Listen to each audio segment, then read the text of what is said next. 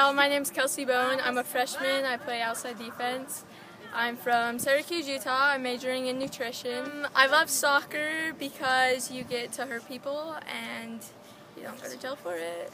Um, something most most people don't know about me is I can say the alphabet backwards in three seconds. The person I admire most is my brother because he's just an awesome guy and he's really nice.